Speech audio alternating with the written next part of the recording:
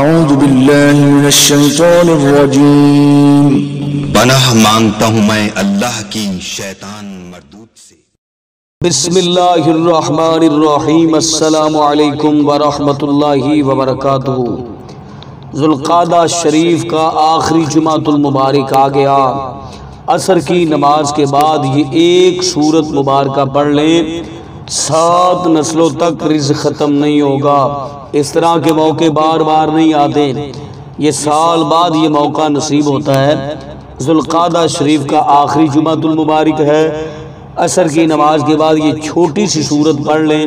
انشاءاللہ عز و جل رزق میں برکت، کاروبار کی بندش کا خاتمہ رزق میں بے باہ اضافہ غیب کے خزانوں میں سے رزق ملے گا۔ وہ کون سی صورت ہے؟ بتانے سے پہلے گزارش ہے کہ اگر آپ نے ابھی تک میرا چینل سبسکرائب نہیں کیا تو میرے اس چینل کو کر لیں، سبسکرائب اور بیل آئیکن کو دبا لیں تاکہ اس طرح کی لیٹسٹ اور نئی سلی ویڈیوز اب تک بآسانی اور بر وقت پہنچ سکے۔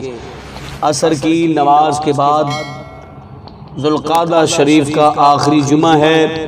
عصر کی نماز پڑھیں۔ نماز کے بعد قبلہ رخ ہو کر بیٹھ جائیں۔ اول آخر پیارے آقا، امام الانبیاء، تاجدار مدینہ، سرور و قلب و سینہ صلی اللہ علیہ وسلم کی ذات متحرہ پر درود و سلام پڑھیں۔ درود و سلام پڑھنے کے بعد سورت القوثر ایک سو اکیس مرتبہ پڑھیں۔ تصور کر کے، رزق میں اضافے کا تصور کر کے، کاروبار کی بندش کا خاتمے کا تصور کر کے، غیب کے خزانوں میں سے رزق کی آمدنی رزق کی فروانی کے حوالے سے تصور کر کے آپ نے صورت القوثر پڑھنی ہے۔ انشاءاللہ عز و جل اتنا اللہ رزق عطا فرمائے گا کہ سات نسلوں تک رزق ختم نہیں ہوگا۔ اور پھر آپ نے جب یہ عمل ختم کرنا ہے اس کے بعد دعا کرنی ہے۔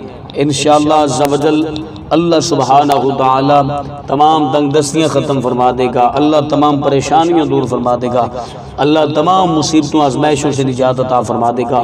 تو مجھے امید ہے کہ آج کی میری ویڈیو آپ کو اچھی لگی ہوگی، اپنا اپنی فیملی کا بہت سارا خیر رکھے گا۔